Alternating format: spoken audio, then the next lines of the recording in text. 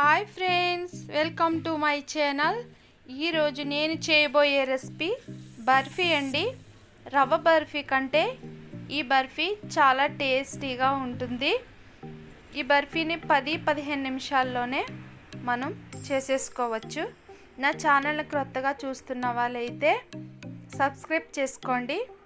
పక్కనున్న బెల్ ఐకాన్ని క్లిక్ చేయండి. చేసే విధానం చూద్దాం.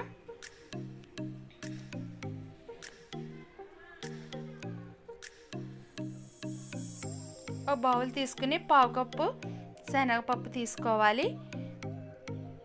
పచ్చి శనగపప్పు అండి. దీన్ని ఒక గిన్నెలో వేసుకొని వాటర్ వేసి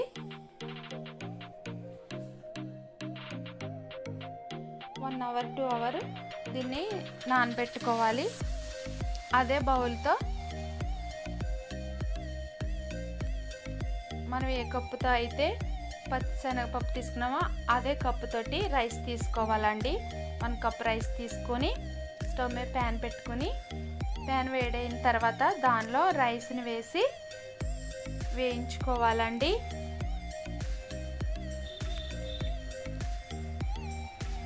ఇది ఇలా వేగుతున్నప్పుడే దీనిలో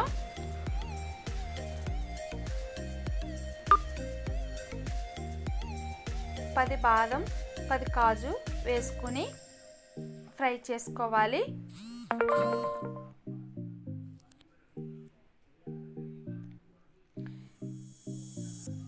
ఈ బియ్యంతో పాటు ఇవి కూడా ఫ్రై అవ్వాలండి. ఈ ఫ్రై చేస్తున్నప్పుడు మంట లో ఫ్లేమ్లో ఉండాలి. ఇలా ఫ్రై అవుతే సరిపోతుందండి.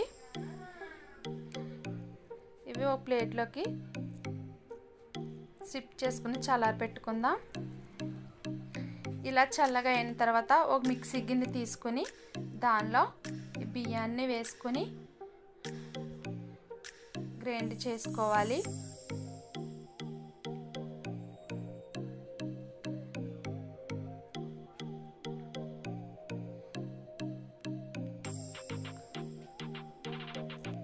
ఇలా మెత్తగా మనం పౌడర్ చేసుకుని తీసుకోవాలండి. ప్లేట్లో వేసేసుకొని అదే మిక్సీ గిన్నె తీసుకొని మనం నానబెట్టుకున్న పచ్చిశనగపప్పుని ఫ్రెష్ వాటర్తో కడిగి ఈ పప్పును కూడా ఆ మిక్సీ గిన్నెలో వేసుకొని దీన్ని కూడా గ్రైండ్ చేసుకుందాం. ఇలా మెత్తగా గ్రైండ్ చేసుకొని పక్కన పెట్టుకోవాలండి. స్టవ్ మీద ప్యాన్ పెట్టుకుని ప్యాన్ వేడైన తర్వాత దీనిలో త్రీ కప్స్ మిల్క్ని వేయాలండి. వన్ కప్పు మనం బియ్యాన్ని తీసుకున్నాం కదా త్రీ కప్స్ మిల్క్ని వేసుకుని బాయిల్ చేసుకోవాలి. మిల్క్ ప్లేస్లో వాటర్ని కూడా వేసుకోవచ్చండి. కానీ ఈ బర్ఫీకి మిల్క్ వేస్తేనే టేస్టీగా ఉంటుంది. బాయిల్ అయిన తర్వాత దీనిలో మనం గ్రైండ్ చేసుకున్న పచ్చిశనగపప్పు పేస్ట్ని వేసుకుందాం. అలాగే బియ్యాన్ని పౌడర్ చేసుకున్నాం కదా. ఈ పౌడర్ని కూడా వేసుకొని ఉండలు లేకుండా సాఫ్ట్గా కలుపుకోవాలండి. ఇలా కలుపుతున్నప్పుడు మటన్లో ఫ్లేమ్లో అన్నా పెట్టుకోవాలి ఆఫ్ చేసి అన్నా కలుపుకోవాలండి. కలుపుకున్న తర్వాత మరలా స్టవ్ మీద పెట్టుకుని మనం కలుపుతూ ఉండాలి. దగ్గర పడేంత వరకు కలుపుతూ ఉండాలి. అడగంటకుండా చూసుకోవాలి. మంట లో ఫ్లేమ్లోనే ఉండాలండి. ఇది ఇలాగా దగ్గర పడిన తర్వాత వన్ కప్పు షుగర్ వేసుకోవాలి. వన్ కప్ రైస్ తీసుకున్నాం కదండి. వన్ కప్పు షుగర్ వేసుకోవాలి. అలాగే ఫుడ్ కలర్ కూడా నేను కొంచెం వేస్తున్నాను. మీకు ఇష్టమైతే వేసుకోండి. లేకుంటే అవాయిడ్ చేయండి. వేసుకొని ఇదంతా బాగా పంచదార కరిగేంత వరకు బాగా కలుపుకోవాలి. దానిలో హాఫ్ స్పూన్ ఇలాచీ పౌడర్ కూడా వేసుకొని కలుపుకుందాం.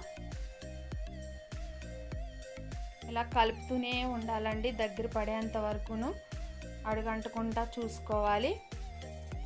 మధ్య మధ్యలో నెయ్యి వేస్తూ టూ స్పూన్స్ నెయ్యి వేసాను. Two three two three spoons నెయ్యి అయితే సరిపోతుంది. ఇదంతా బాగా కలిసే విధంగా కలుపుకుంటూ ఉండాలి.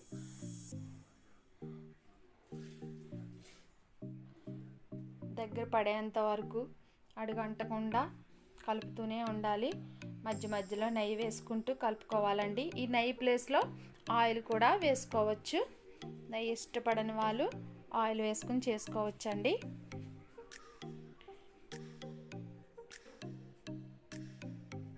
ఇలా దగ్గర పడేంత వరకు ప్యాన్ నుండి ఇది సపరేట్ అయ్యేంత వరకు మనం కలుపుకోవాలి. ఇలా సపరేట్ అవుతుంది కదండి దగ్గర పడింది. మరొకసారి కలుపుకొని స్టవ్ ఆఫ్ చేసుకొని మనం పక్కన పెట్టుకుందాం. ఒక ప్లేట్ తీసుకుందామండి. ఆ ప్లేట్కి నెయ్యి రాసుకుందాం. నెయ్యి ఇలాగ అప్లై చేసి మనం రెడీ చేసుకునే మిశ్రమాన్ని దానిలో వేసేసుకుందాం. ప్లేట్లో వేసుకుని సాఫ్ట్గా నేను చూపిస్తున్న విధంగా ఇలా సాఫ్ట్గా చేసుకుని దీనిలో డ్రై నట్స్ ఏవైనా వేసుకోవచ్చండి. నేనైతే కాజు బాదం వేసాను ఇలా వేసుకుని ఒక నైఫ్ తీసుకుని కొంచెం చల్లగా అయిన తర్వాత దీన్ని ఇలా మనం కట్ చేసుకోవాలి. మనకి ఏ షేప్ కావాలంటే ఆ షేప్లో కట్ చేసుకోవచ్చు. అంతేనండి. Barfi ready tasty tasty barfi ready.